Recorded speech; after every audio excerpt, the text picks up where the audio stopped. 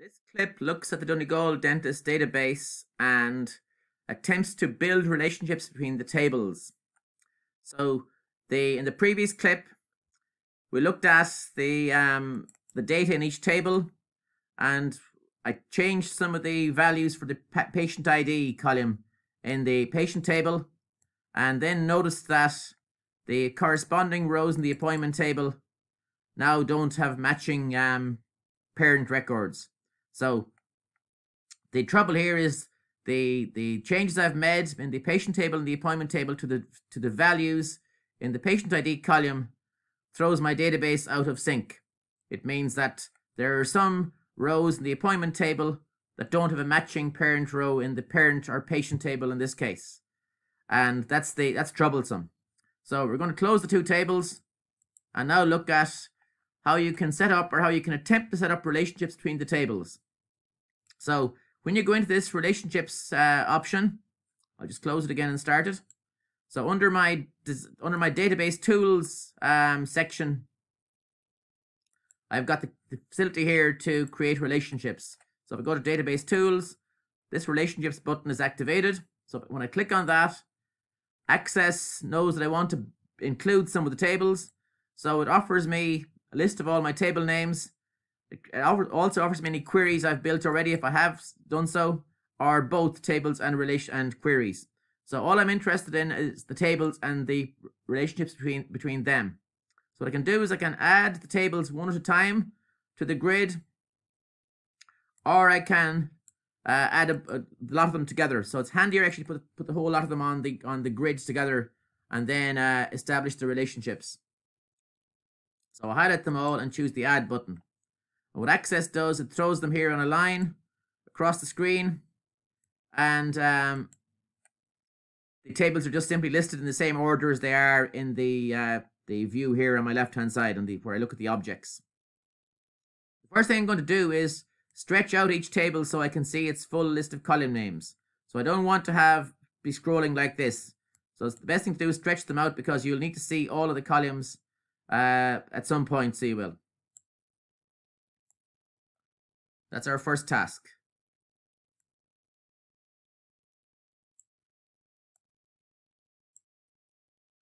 So the next job is to try and put the tables in some kind of order. So if I think there's a relationship between, say, appointment and clinic, it's not the fact that these two tables are beside each other, that's convenient. But there's also a, a relationship between dentist and appointment and there's a relationship between appointment and patient as well. So ideally, we'll keep those tables close to each other. So what it looks like is, because what I want to avoid doing is ending up, say, dragging the the prim what will be the primary key of the patient table, Pat ID, over to its matching uh, Pat ID column in the appointment table, and then ending up with a link that runs across the entire screen. Okay, it makes far more sense if I could place those two tables near each other and move the other tables out of the way. So the the idea here is to put tables close to or adjacent to the other tables that they're related to. So in our um, review of the tables in, in, in, in, in the past, we're aware that the appointment table is linked to the patient table, it's linked to the dentist table, and it's linked to the clinic table. So there are the three we'll concern ourselves with for the moment. Uh, the appointment, the, the patient, and the dentist. So what you have to look at really is what other tables are, are, are the, these three tables or four tables related to as well. So we know that uh, patient is linked to employer or employed by, sorry. Um, so placing it beside the, the, the employed by table will be helpful. Clinic isn't linked to anything else. So we can probably safely put clinic over here on the um, on the left hand side for the moment and put appointment maybe somewhere down from it. And then the, the ones that are of, of biggest concern are dentist and patient. So dentist is linked to university. So we might move uh, dentist over here to the left dentist over to the left and put university just above it somewhere. Okay, so as you'll see in a few minutes, what we're trying to do here is having lines crossing over each other and confusing people. So what I've done, as I said, I've looked at building a little relationship between appointment and patient. But I'm going to delete that relationship in, in now, so I am. And uh, look at it again in a minute. Okay, so here's appointment and here's patient. So I think that kind of layout will work for those few tables. And then I'll put dentist training down here below dentist and employer and employed by over here near um, patient. So that hopefully will give us a chance to uh, build the relationships. So the one I was exploring earlier on was the relationship between a patient and an appointment when I was looking at the data in the tables a little bit earlier on. So if you remember, one more time, I looked at uh, the patient table and I changed some of the patient's numbers. I changed Paul Kelly's number, I changed Laura Rush's number. And that, as I explained, is troublesome. Likewise, went into the, into the appointment table and I changed some of the values here on the appointment table. So now we have uh, appointments we can't trace. In other words, we have appointment here for 206 and we have no matching cost, we have no matching patient. Same with 203, no matching patient. And then we have appointments for patient 101. And look again, looking at the patient table, there's no patient 101 because we happen to number renumber Laura Rush as, as 201. So these uh, changes we made earlier on are now going to come back to haunt us. So I'm going to close the appointment table, close the uh, patient table as well, and look and stay back on the relationships. So the integrity problems or the accuracy problems I've described uh, just now and in an earlier clip are now going to surface for real and cause us more trouble than we want. So I'm now going to again look at the, the relationship between a patient and an appointment.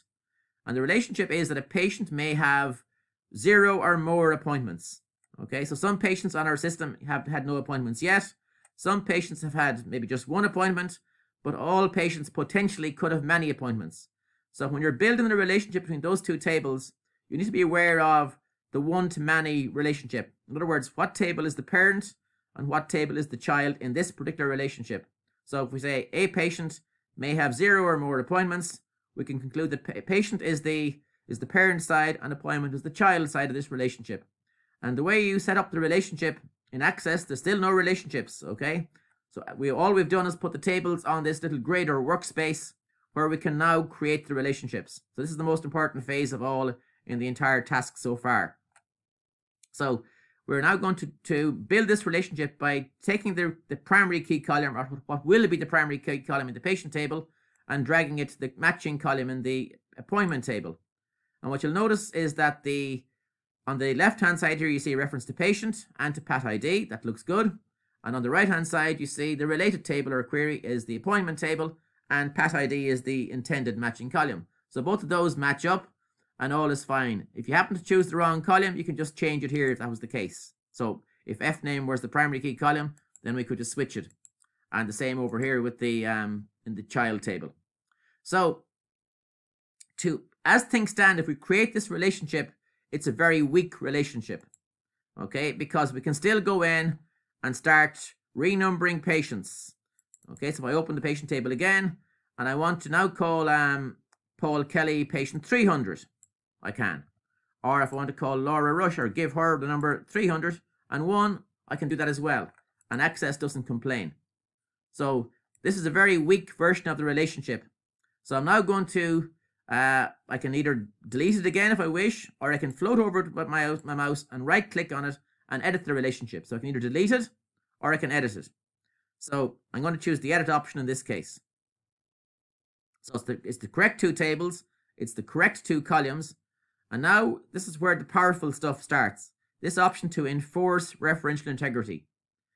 And what this will do is it'll stop me carrying out the mischief I did earlier on when I um, renumbered some of the patients or and also renumbered with their ID numbers and also renumbered some of the uh, appointments where I changed the, the patient detail, patient ID number as well.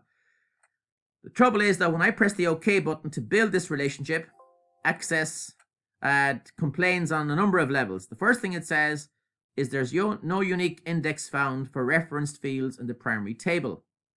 So what that's telling me in simple terms or in more in wordy terms, is it's telling me basically that I have no primary key set up in the patient table. So that's the first uh, source of trouble. So it won't let me uh, kind of um, elaborate or build the more um, important aspects of this relationship. So I can still leave the weak relationship in place by just pressing OK.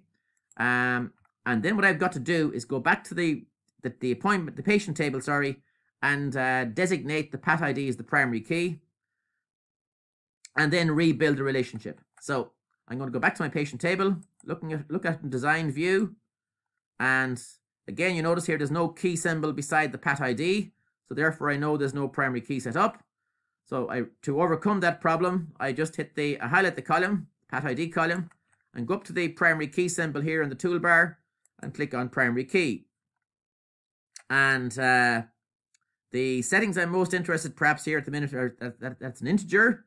Um, that'll be important in a few minutes time and that there's no duplicates, that it doesn't allow duplicates. It's indexed. So I'll save that. I'll close the table and save it. And I'll now go back in again. And this time I'll actually delete the relationship just, just to start from scratch. I could edit it, but I'll delete it just to, to begin again. So I'm going to, now you can see the key symbol here appearing on the patient, um, beside the patient ID column or pat ID column in the patient table. So it's looking better.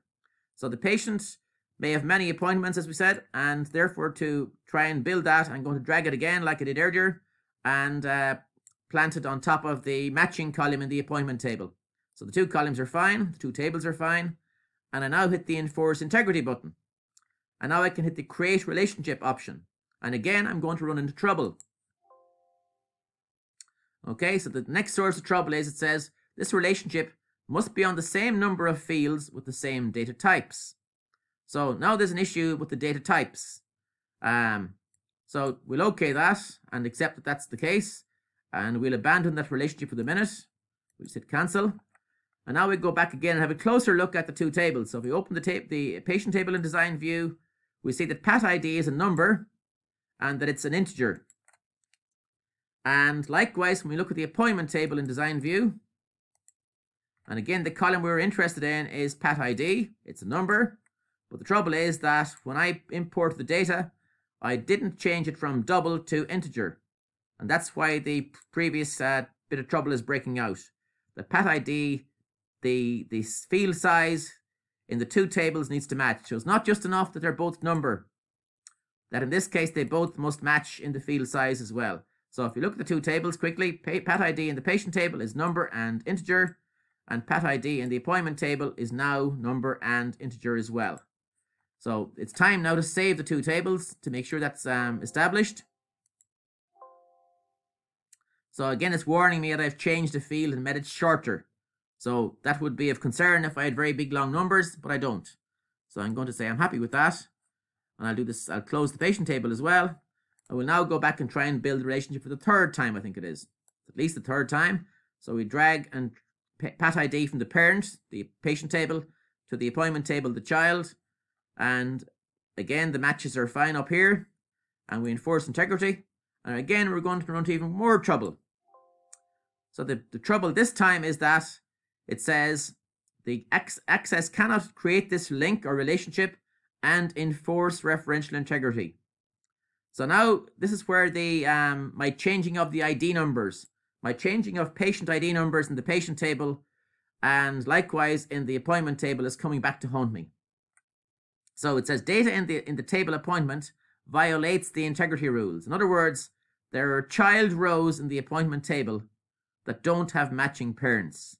Okay, so it says, for example, there may be re records relating to an employee in, in a related table, but no employee in the in the primary table. So in the employee in the employee case here, we'll substitute in the appointment table. So there's something in the appointment table that doesn't have matching data in the um, patient table.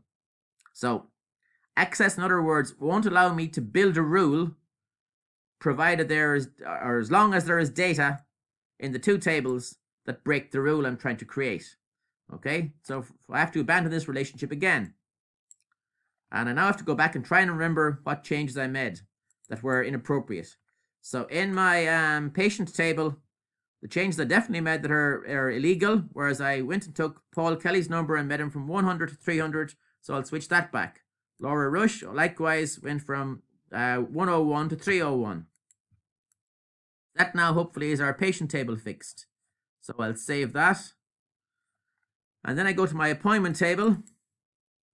And when I open the appointment table, I have uh, all the 100s are safe at this stage. The 100 down here to 106 is fine, but the 103 and the 206 need to be re um, reassigned as 103 and 106.